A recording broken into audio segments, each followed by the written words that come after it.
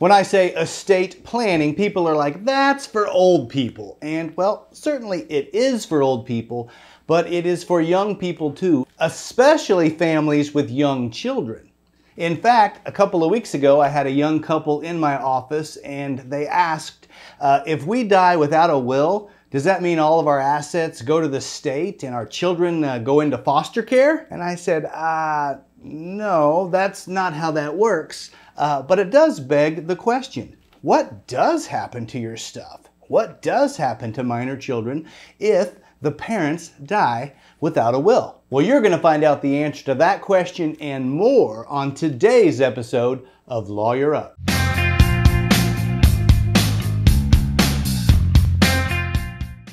Thank you for watching. My name is Joshua Roberts, attorney at law, and get ready for another episode of Lawyer Up. Today, we're talking about estate planning, uh, probate law, and the probate process. We're going to be talking about why we have probate law at all in the United States, and then I'm going to walk you through the probate process. What happens when somebody passes away uh, and they go through that process with the court systems. Then we're going to talk about some estate planning tools and ways to avoid going through probate. Last but not least, I'm going to give you some tricks of the trade. If you can't afford to do a full estate plan, uh, there are some ways to title assets that you get the same effect uh, of avoiding probate and to transfer assets to your intended beneficiaries. Do me a favor, if you enjoy today's episode, hit that like button. If you want to know more about the law, subscribe to the channel. If you got something to say, you have a question, comment below. I try to respond to every single question and comment. And last but not least, please share me on social media. And remember, I am a lawyer, but I am not your lawyer. If you need advice specific to your legal situation, then you need to lawyer up with an attorney in your area. So let's talk in general about estate planning. And that is simply the process of planning for the uh, distribution of an estate in the event of an incapacity or death uh, of an individual. Uh, and when I say estate, I'm just talking about the sum of a person's assets and debts. That's all that really means. And so when we talk about probate law or the probate process, that's simply the process uh, that a decedent's estate goes through, uh, and it's determined uh, what debts are paid and what net assets are then distributed to which beneficiaries. And so the first question is why do we need probate law at all? And the answer is uh, in the United States and every other country, there needs to be a way to transfer assets from the dead people to the living people, right? Uh, traditionally, we transfer assets, especially titled assets, by writing that is signed by the transferor. So if you're transferring a house, you sign off on it. If you're transferring title to a vehicle or some other asset, you sign off on it. Except that dead people, they can't sign things. So the need arose for a probate law to transfer these assets from dead people to living people. Otherwise, you have things going to waste. You'd say, yeah, that's old man McCracken's house over there, but he's dead uh, we can't transfer it, so it's just going to be dilapidated. You would have these dilapidated properties all over town from people who had passed away if there wasn't a way to move those properties forward to the living. So probate law does that. They take things out of the hands of the dead people's estate and they give it to the living people. Probate law also exists to help make decisions for people who cannot make decisions because they're under some sort of incapacity. And this can be an actual incapacity like you're in the hospital hospital, you're laid up, you're unconscious, uh, and you can't make healthcare decisions for yourself, or it can be a legal incapacity. And this usually occurs where the person's not necessarily in the hospital, uh, but maybe they have dementia or Alzheimer's or some other reason that they're not able to really make decisions for themselves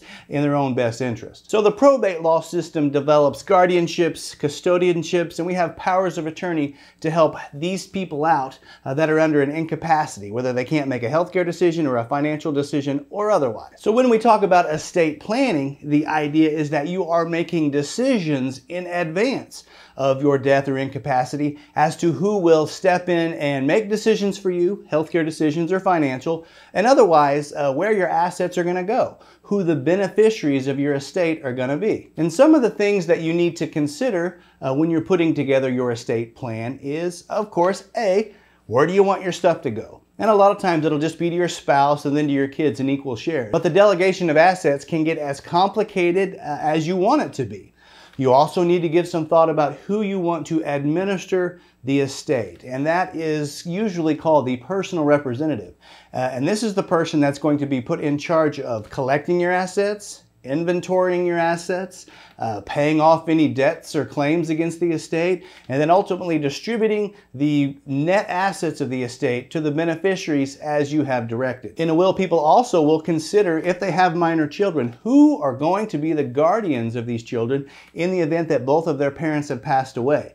That's something that you can definitely put into a will and something to consider. Estate planning also allows uh, individuals with large estates uh, to do some tax avoidance and to maximize their position so that they can decrease or eliminate inheritance taxes. And last but not least, when you use powers of attorney, it allows you to designate somebody to make healthcare decisions for you, to act financially for you in the event that you cannot act or make decisions for yourself. So let's talk about probate law and the probate process. And this is the laws that govern and the process an estate goes through uh, when an individual passes away. And this process can come with direction from the decedent or without.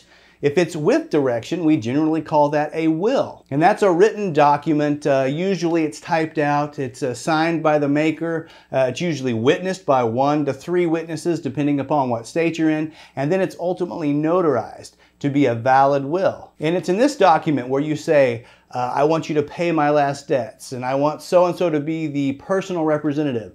I want my assets to go to my three kids or my beneficiaries or whoever you may designate in your will. Now, if you don't have a will, it goes through basically the same process, but there isn't any input from the decedent.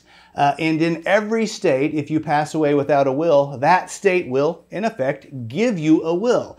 They will designate where your assets go. Uh, this is called the law of intestacy. Uh, and essentially, the state provides the will. Uh, it'll say that if you die, your assets will go to your spouse and your kids if you have them. Uh, if you don't have a spouse or maybe your kids have predeceased, uh, it will go down to your lineal descendants. So if you have grandkids, it would then go to them. Uh, the intestacy laws then state, well, if you don't have any lineal descendants at all, uh, then the estate will go up, and that would be giving your assets to your parents. But let's say you have no spouse, you've got no kids, no lineal descendants, and no parents. Well, then the laws of intestate succession start going outward. Your assets go to your brothers and sisters, and then to your cousins. Uh, and there's these big charts as to where the assets go. It is a very rare occasion where assets uh, can't go to anybody and ultimately go to the state. I've never seen that happen in over 20 years of practicing law. There's always some living relative somewhere that can inherit under the laws of intestate succession. So when we turn to the specific process, of course, first you have a death.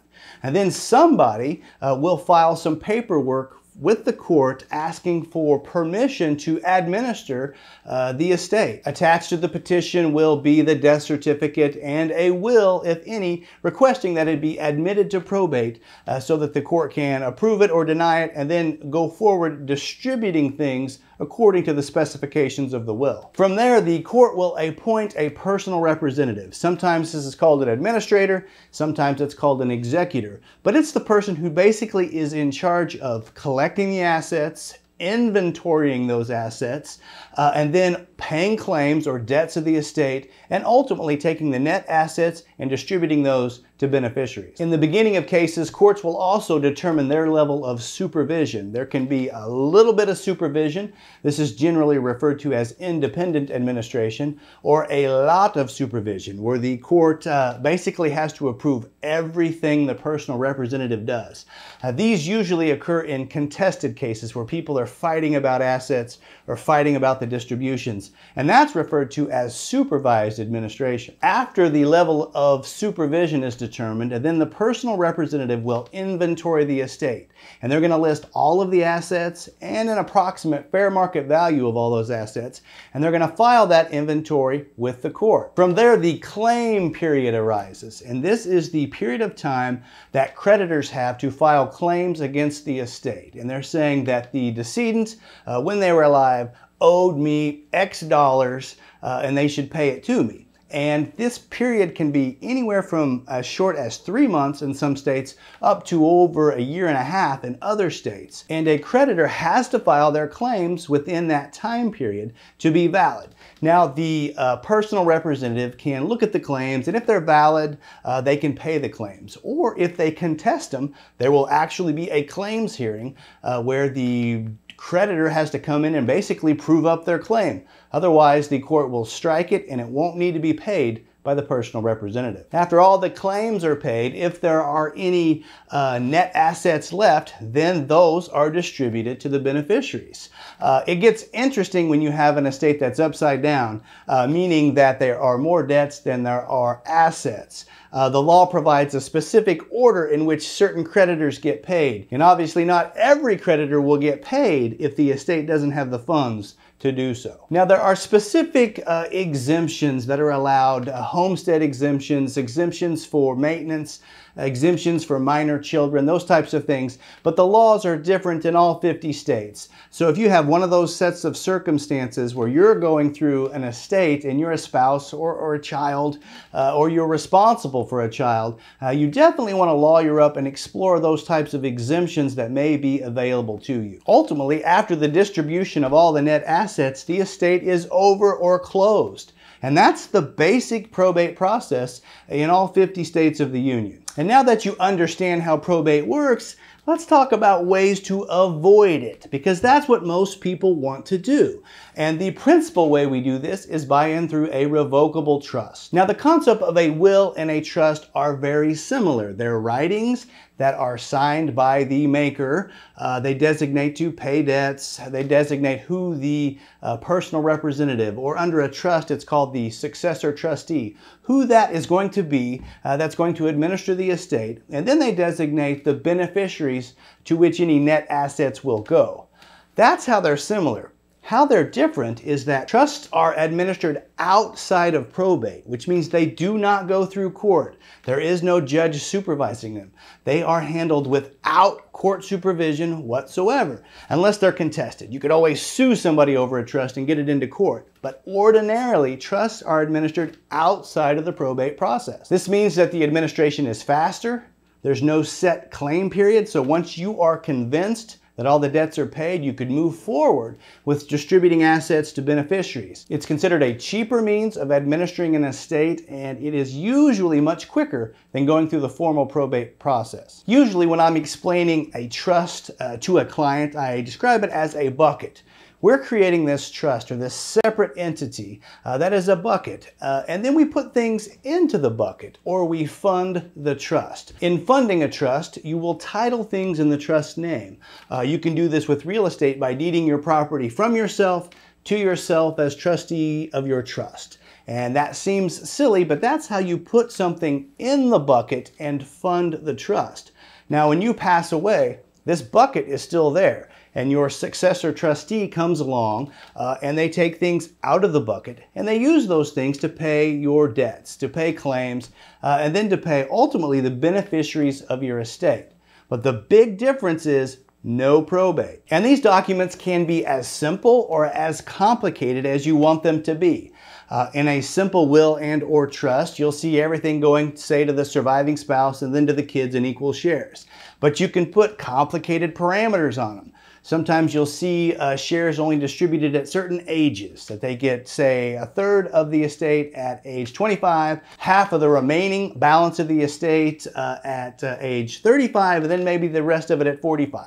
Those types of provisions. I've even seen little old ladies say, I want to give $10,000 to my nephew, but not if he's with that no good so and so girlfriend of his. And I'm like, okay, lady, I'll put it in the documents, but we'll have to sort that out on the back end.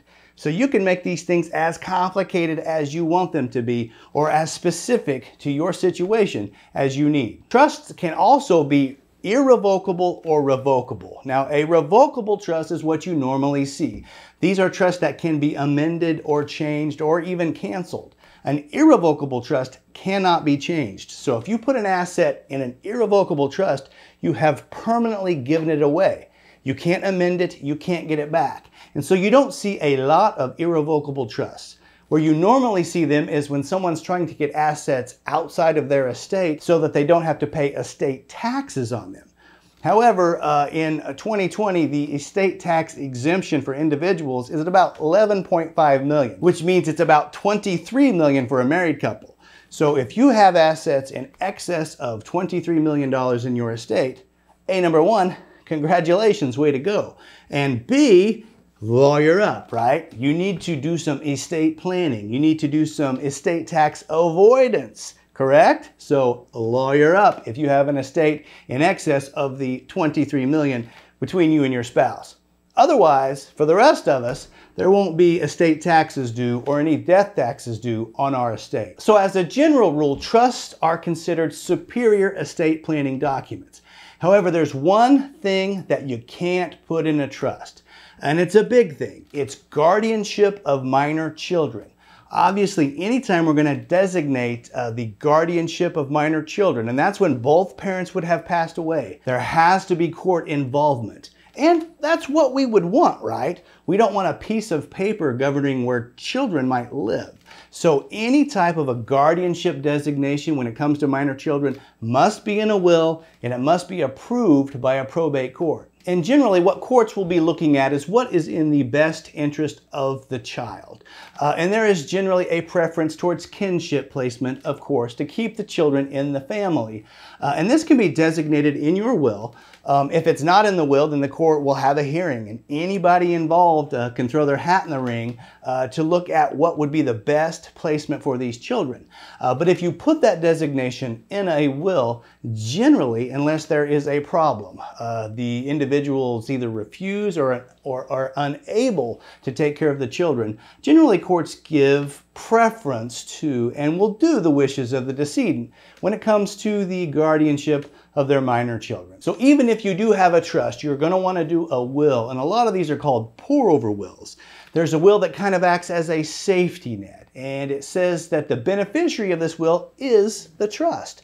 So if an asset falls outside of the trust, if it doesn't get titled in the trust name and put in the bucket, then this pour over will will catch it and pour the asset over into the trust to keep everything outside of probate. It's in this document where most people will include the designation of their guardian for their children. Now let's take a little detour and talk about powers of attorney. And there's generally two of these. And these designate people to act for you in the event that you're incapacitated. Now powers of attorney are effective from the date of your incapacity when it begins up until death.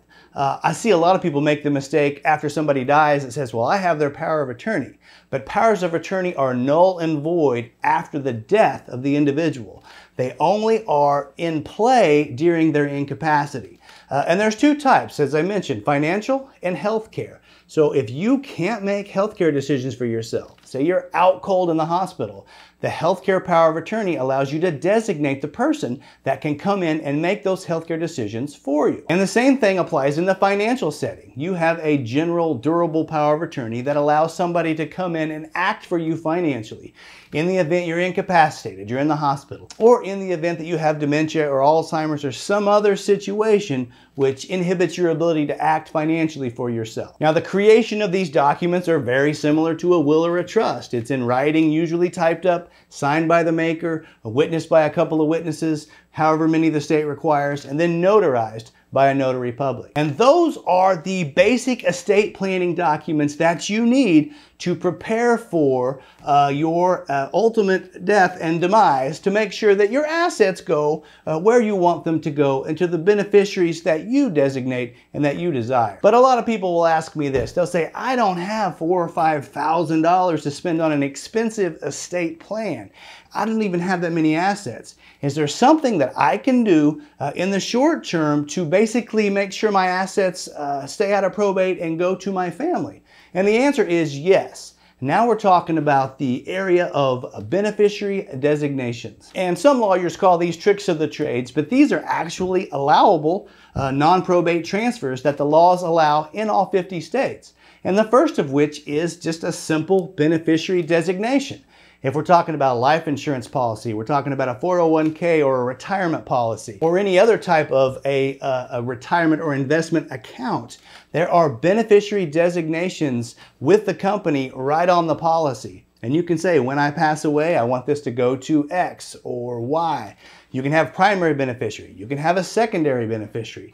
And so uh, ultimately, when you pass away, that doesn't have to go through probate all the beneficiary has to do is basically fill out the form that the company requires, send in a death certificate, and then they get a check.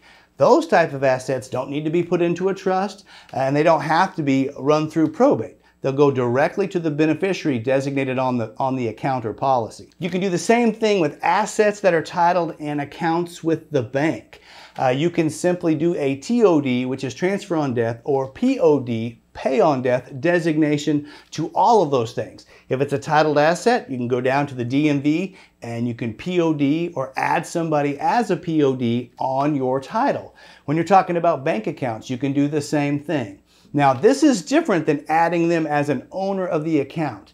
If you add somebody as an owner, they will be able to uh, basically treat the account as their own. And I've seen kids added to bank accounts that have wiped them out. You don't want to do that. You just want to have these people added as a transfer on death owner. That means once you pass away, they go into the bank and give them the death certificate. Then and only then will they own the account and have access to your money. And last but not least, when we're talking about real estate, that's the area of beneficiary deeds. And it simply says that when I die, I want my property to go to X. Uh, this can be recorded within the chain of title, and then whenever the individual does pass away, all the beneficiary has to do is record their death certificate within the chain of title, and they become the owner of the real estate. It is a very simple way to transfer property uh, without going through probate.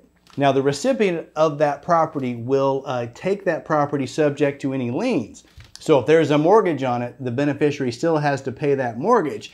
They don't get out of that. However, they do become the owner of the property without that property having to go through probate. And the good thing is anyone can use these non-probate transfers, uh, whether you have a small estate or a large estate.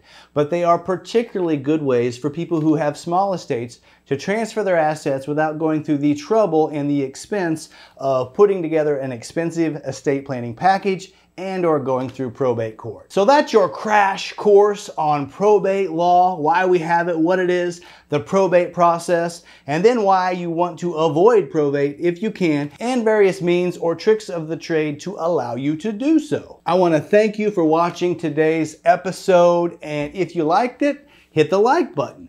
Uh, if you want to know more about uh, legal topics in the law, uh, then I would encourage you to subscribe to the channel. If you got any questions, comment below, and as always, share me on social media. Again, thanks for watching. My name is Joshua Roberts, and you've been watching Lawyer Up. Send lawyers, guns, and money.